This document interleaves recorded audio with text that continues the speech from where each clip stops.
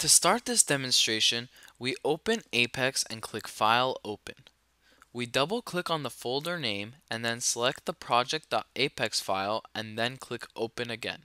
Here we see the pre-built subassemblies with which we will demonstrate the effects of beam sections on stress distribution under different loads. For this demo, we have built two sets of different beam sections with the same area and length. There is a square beam with a cross-sectional area of 0.016 meters squared and a rectangular beam with a cross-sectional area of also 0.016 meters squared. We've made two copies of each so that we can compare the results of stress due to the same tension force being applied to the square beam and also the rectangular beam. We will also compare the results of stress due to the same bending moment applied to the square and rectangular beams. Like the previous beam demonstration, each subassembly consists of the beam, a part used as a tool to apply the load, and a block on which the constraints are applied. The three parts are glued together using the create glue option.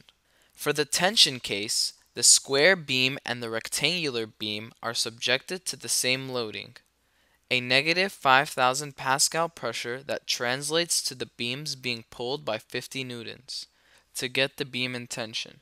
For the bending case, we apply two 1 Newton forces in opposite directions on our tool to emulate bending on the bars. With the length of the moment arm at 0.10909 meters, this translates to a bending moment of 0.218 Newton meters acting on both bars. The model is ready to analyze, so let's run it.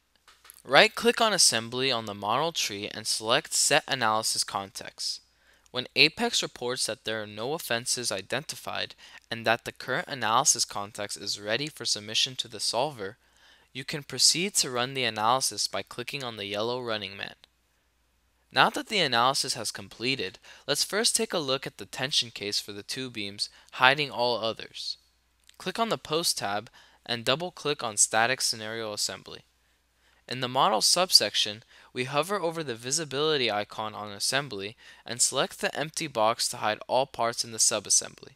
Next, we hover over the rectangular tension beam and click on the check. And then we hover over the square tension beam and also click on the check. We press both buttons on the mouse to fit the model to the screen. This shows the two beams in their deformed shape as a result of tension. We can now show the fringe plot of the stresses by clicking the fringe icon. If we hover over the area of the spectrum, we see that we are viewing von Mises stress. Let's change this to x component. We notice that the values are close to theoretical, but most important, the stress between the two different cross sections are the same. Now let's compare the bending cases.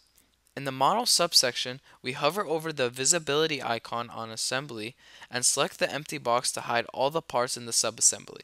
Next, we hover over the rectangular bending beam and click on the check. And then we hover over the square bending beam and also click on the check.